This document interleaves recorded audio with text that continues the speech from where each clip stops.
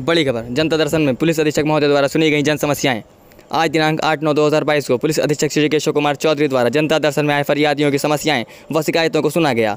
जन सुनवाई के दौरान प्राप्त शिकायतों का शीघ्र एवं गुणवत्तापूर्ण निस्तारण हेतु संबंधित को आदेशित किया गया।